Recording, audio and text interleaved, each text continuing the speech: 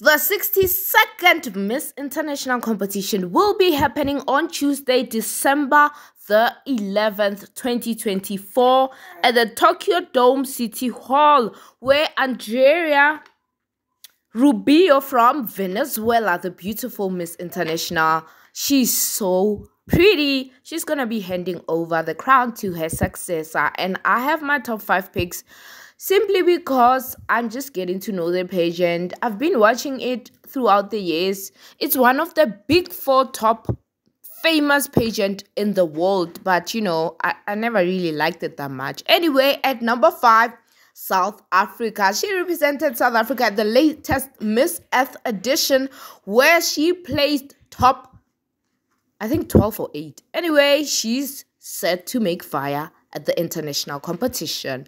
Number four, drum roll for Puerto Rico. She's just giving me those vibes, you know, she's giving me those vibes that she is really going to make wonders on the night.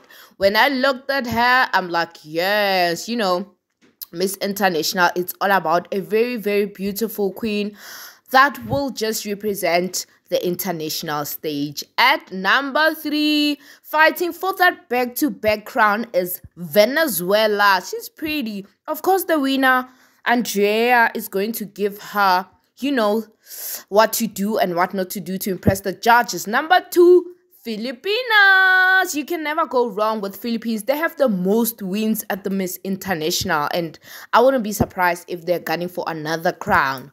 Drum roll for number one, Peru. And number Jeez. one, like I said, is Peru. She's on a lot of people's hot pick. Look at her. She is just absolutely amazing. And for my first pick, top five Miss International competition happening in December, Peru is my number one. Subscribe.